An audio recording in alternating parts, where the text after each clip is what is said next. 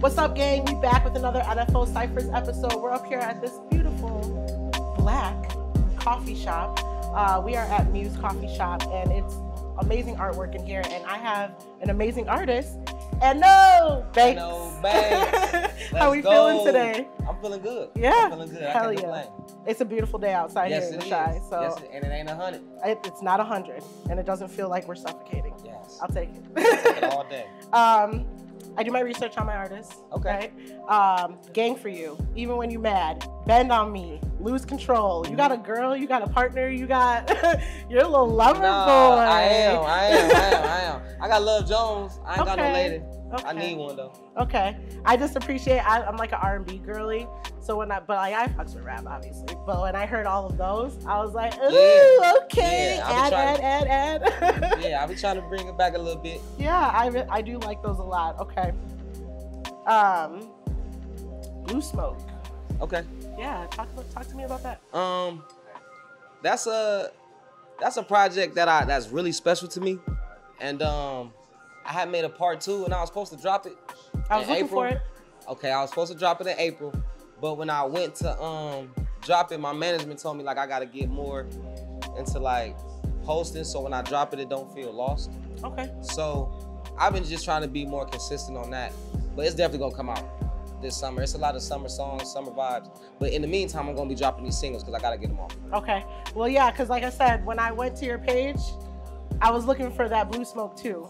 Because I'm like, okay, he said April I've been performing 20th. it though. I've been performing Okay, it okay. Uh, so if you ever do want to hear it before Yeah. actually, I've been um I'll post them on there. I do a lot of so far Sofar Sound shows. okay. Um, so the instrumentation be kind of different.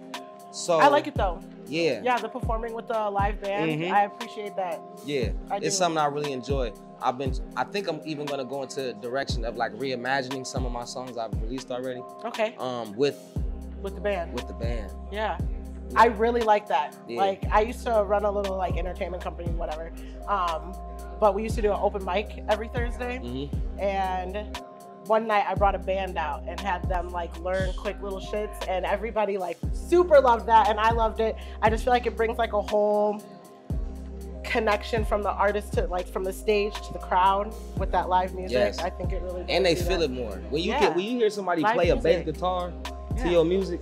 It just make you feel different. I love the Just make you bass. feel different. that was one of my 2024 goals was to learn how to play the bass. It's We're not there yet, but it's okay. We all got goals. We gotta get reached. yeah. So, uh, what has 2024 brought for you so far, and what can we expect from you um, within the next six months? Um, I've been doing a lot of performing with my band. Not as much dropping music as I what I would have thought, but um, 2024 I learned like when you working hard at being good at something, you don't really notice how important building relationships are Mm. and how much that has nothing to do with You gotta have a getting solid, great at something. having a solid uh, like team behind you can Yeah. definitely bring you to places than by yourself. But ha- but building that team has nothing to do with the work at hand. You see what I'm saying? Okay. Um, and I think when you're in a space of trying to be a great musician or a great whatever you're doing, most of the conversation that you're having is going to be around that. Right. And sometimes you just got to settle into, I like being around these people. They like being Just around period. me. Yeah. And that's why we can do this thing together. You know like what the human connection versus that professional connection. Yes. Yeah. Because sometimes the human imperfection is what makes something perfect. Period. Yeah. Yes. Okay. I love that. um, all right, and then I do like a little one-off question. Um, my one-off question for you is: If you woke up tomorrow as a college professor, what would you be able to um, run your course on confidently? Ah.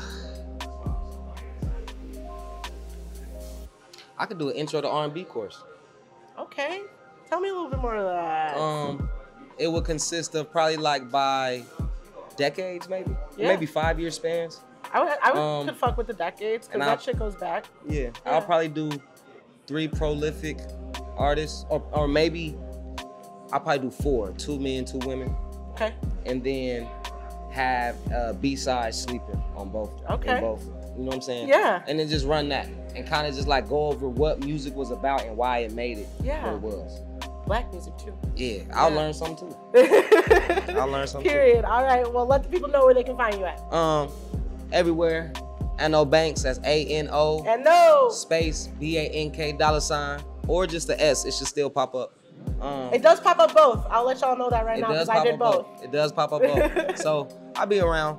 Um, I encourage everybody to go to my page and random, just random, smoke something and go for a ride. Hey, I'm gonna do that on the way home. Yes. Thank you so much.